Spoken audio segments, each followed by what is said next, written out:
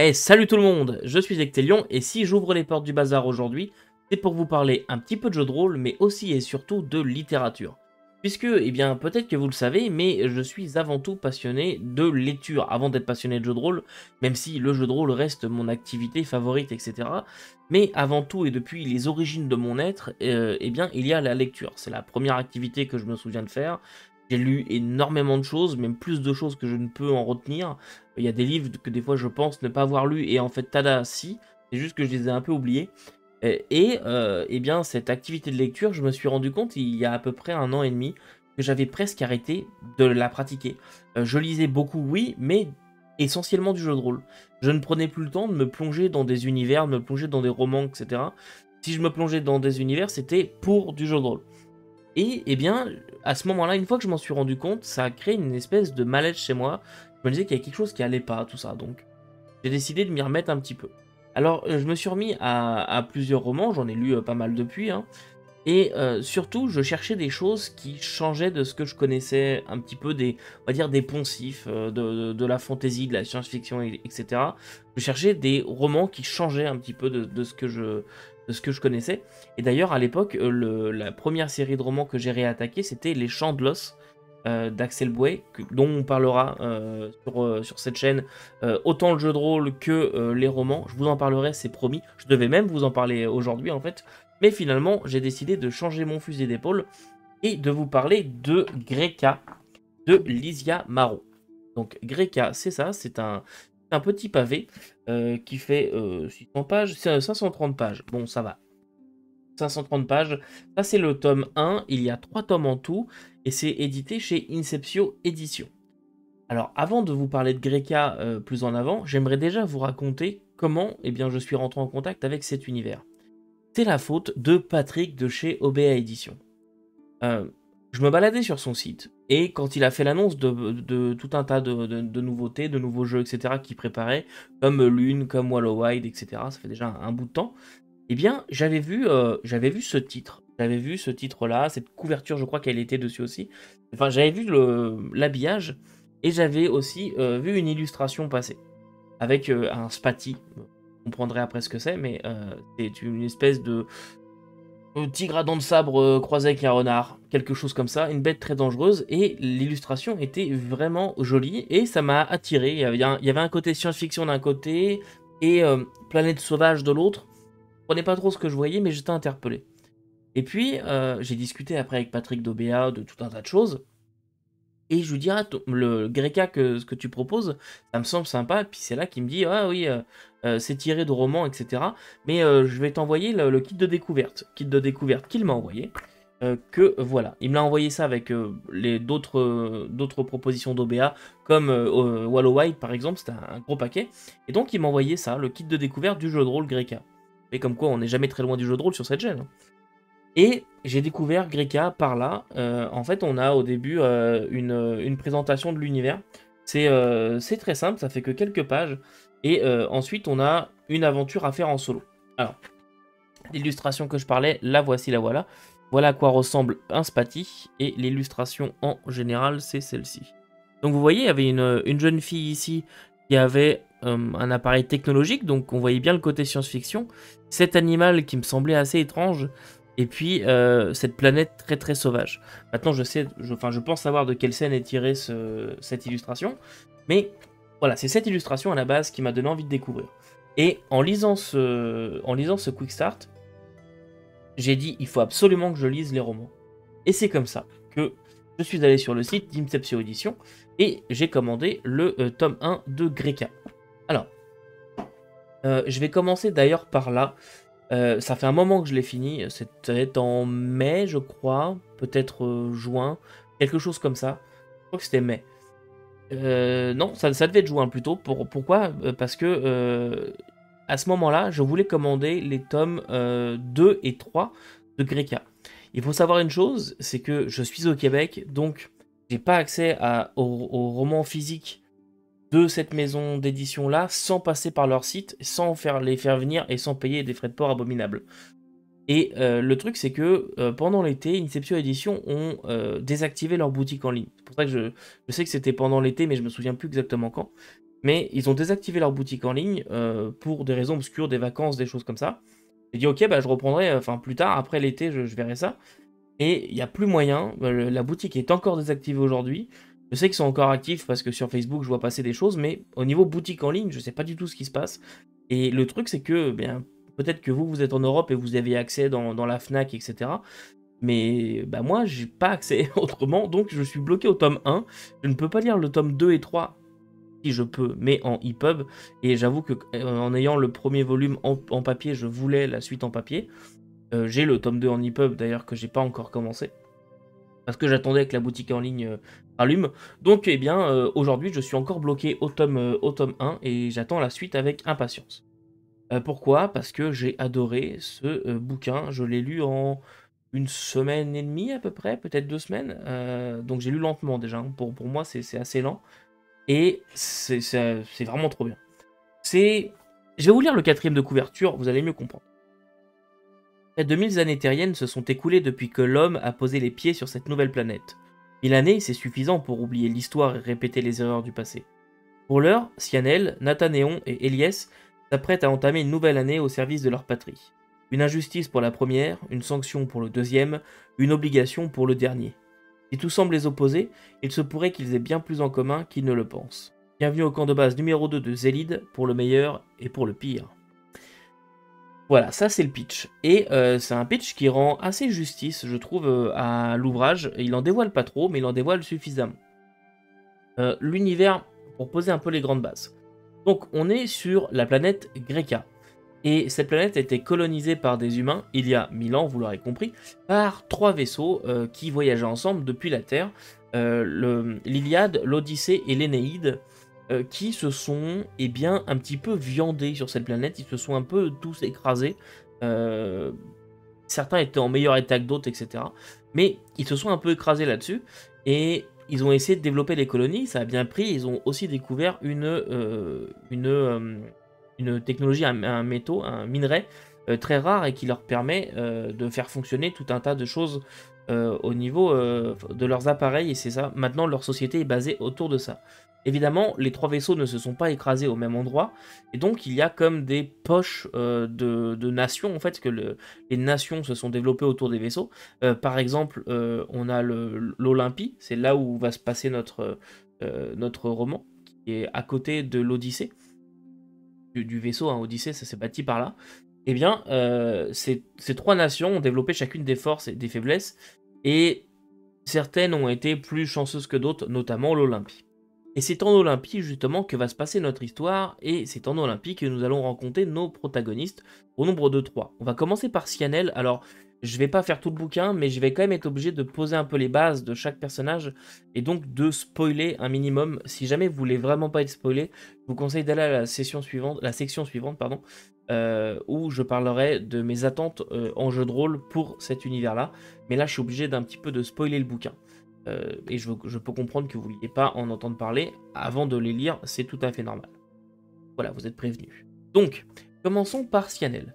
Cyanel, c'est une jeune fille, on, voit dès le début du livre qu'elle a un passé qui a été assez compliqué. On comprend pas exactement pourquoi, on voit juste une jeune fille qui habite dans un appartement euh, toute seule avec son petit frère qui doit avoir, euh, je sais plus exactement, mais comme 6-7 ans, il est vraiment très jeune, entre 5 et 7 ans je dirais. Il est vraiment très jeune et en fait, on a l'impression qu'elle fait un peu office de mère pour lui. Et il y a des hommes qui débarquent euh, et qui l'emmènent de force. Ils emmènent le, gamin aussi. Euh, ils disent qu'il va être ramené euh, au palais. On comprend pas trop pourquoi. Et, elle, en fait, est emmenée et elle doit faire son service militaire. Alors, on est un peu balancé comme ça. C'est pas trop ce qui se passe. C'est assez intrigant. Ensuite, nous avons Nathanéon qui, lui, est déjà au camp, au camp de base et lui, il a l'air d'avoir eu des gros problèmes aussi de gang, etc. Apparemment, il s'est fait arrêter euh, par, euh, la, police et il a été obligé en fait d'intégrer l'armée. Et aujourd'hui, il en est, je crois, sa deuxième année et il, il forme les jeunes à devenir militaires. En fait, il leur fait faire leur service militaire. On comprend aussi qu'il y a une tension qui est assez forte dans, dans, la région. Enfin, la géopolitique a l'air assez compliquée. Et euh, lui, il prend ça vraiment comme une punition d'être là, c'est assez dur pour lui. Et puis euh, le troisième, eh bien, c'est Elias. Et Elias, lui, bah, c'est juste un jeune qui va faire son service militaire. Et c'est aussi un des meilleurs amis de Nathanéon. À la base, c'est une bande de trois qui, sont vraiment meilleurs amis. Et Nathanéon s'est fait choper pour protéger le gang dans lequel les trois sont. Et, donc il purge à peine alors que Elias lui vient juste faire son service militaire à fait normalement. J'avoue, au début, je me suis dit, où est-ce qu'on va? Qu'est-ce que c'est? Est-ce qu'on va pas tomber dans une espèce de triangle amoureux bizarre? Et j'ai été estomaqué. Pourquoi? Et là, je suis obligé vraiment de spoiler, vraiment. En fait, Sianel, c'est la fille adoptive euh, du président du pays. Et le truc, c'est que en tant que fille adoptive, elle devait normalement pas faire son service militaire. Elle aurait dû être au palais, etc. Elle a vécu un élément très traumatisant. Et eh bien, cette jeune fille, elle a euh, des gros problèmes à gérer, notamment son tempérament, etc. Mais surtout des gros problèmes à se faire accepter. Euh, parce que euh, c'est la fille du président. Tout le monde la déteste, en fait, la traite de fille de bourge, la laisse dans son coin. Il y a pas mal de camarades de, de, session, de section qui la laissent complètement seule, en fait, qui se moque d'elle et tout. En plus, elle est pas très forte, elle est pas très endurante. Voilà, donc elle a des problèmes à faire ses exercices, etc. Mais c'est quand même une battante. Le problème, c'est que euh, Nathanéon, lui, euh, c'est quelqu'un de très gentil apparemment. On nous le présente comme euh, quelqu'un qui est toujours prêt à sacrifier pour les autres, etc. Mais elle, il la prend en grippe parce que c'est la fille du président et qu'il il pense que. Enfin, il rend la famille de, de, Sianel responsable de tous ses malheurs. Et le truc, c'est qu'il la prend en grippe et, et quelquefois à deux doigts de la faire tuer, honnêtement. Il prend vraiment des décisions qui sont assez, assez dures. Donc, d'un certain côté, c'est un énorme connard euh, puissant. Et de l'autre côté, eh bien, c'est quelqu'un qu'on nous présente comme étant très gentil en dehors de ça, etc. Et, eh bien, elle, c'est un bloc de glace. Et en plus, elle fait rien pour être aimée. Hein. Je veux dire, c'est une connasse pendant un bon moment. On a envie de la puncher. Mais, eh bien, euh, les deux doivent apprendre à vivre ensemble. Et c'est très intéressant. Et je pense, ça va pas du tout là où je pensais que ça allait. Et puis enfin, on a Elias qui, lui, est un petit peu l'élément neutre euh, de tout ça, parce que c'est quelqu'un qui est assez dur dans la vie, qui, fréquente des gangs, etc. Mais c'est le seul au début euh, qui est un petit peu plus sympa avec Sianel, qui essaye de faire mettre de l'eau dans son vin à Nathanéon, voilà, qui sert un petit peu d'élément de, pour que tout ça fonctionne. Et le truc, c'est que ils sont donc responsable et membre d'une section de jeunes qui font leur service militaire. Et ils vont se retrouver pris au milieu d'événements où ils n'auraient rien, dû, euh, rien avoir à faire là-dedans. En fait, ils vont en exercice en extérieur, dans la forêt. C'est là, je pense, que euh, l'illustration euh, vient.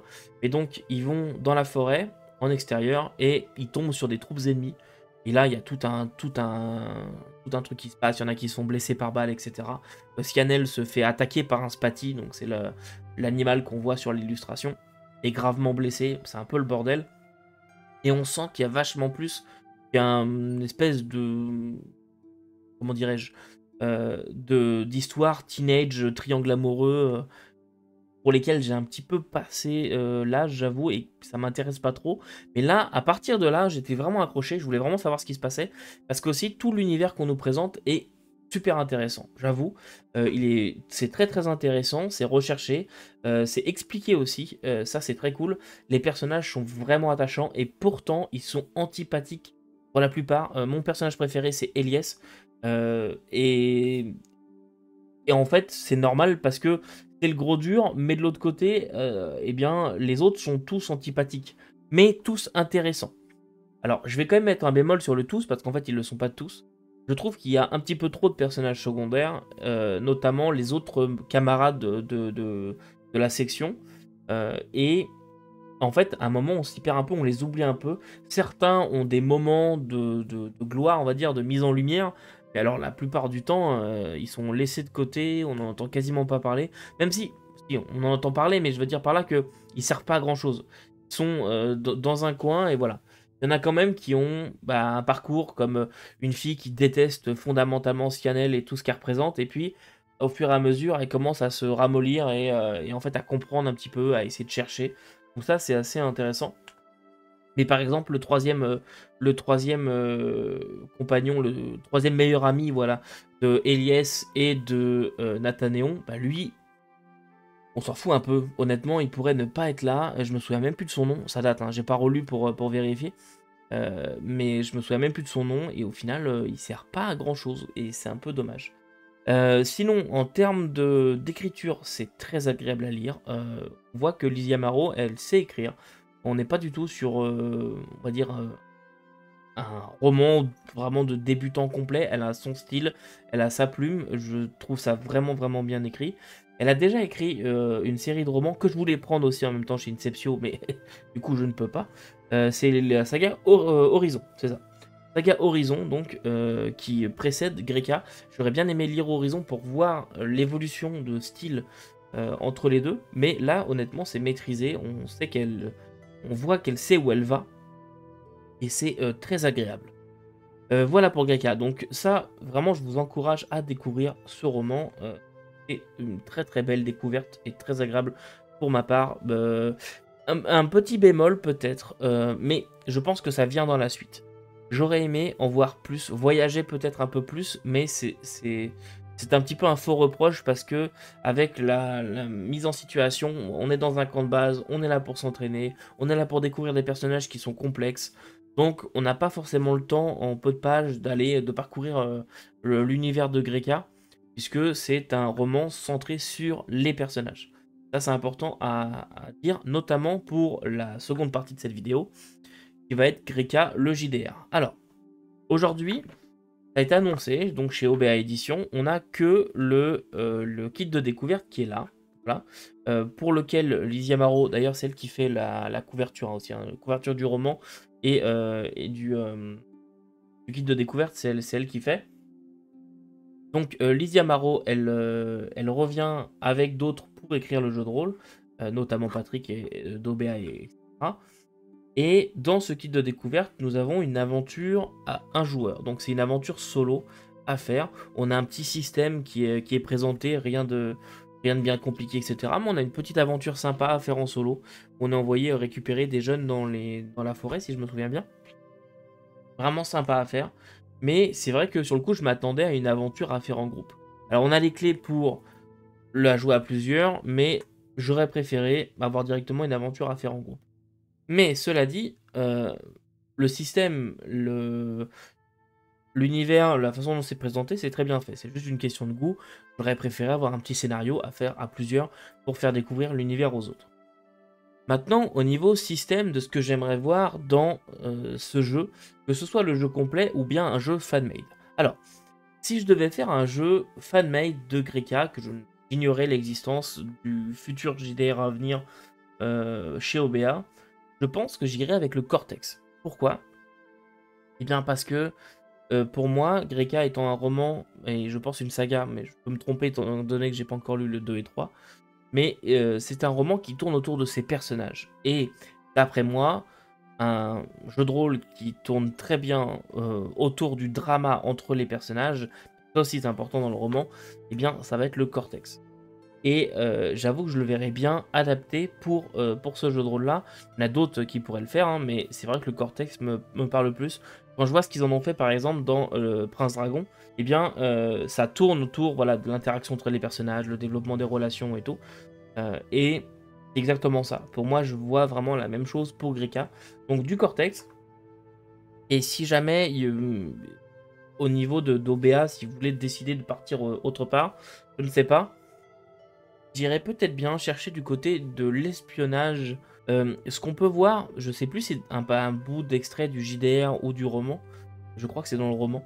Euh, mais euh, y a, on voit beaucoup de, des histoires d'espionnage entre nations, notamment bah, quand les, les, cadets sont envoyés en, mission d'entraînement et que finalement ils tombent sur des, des vrais ennemis.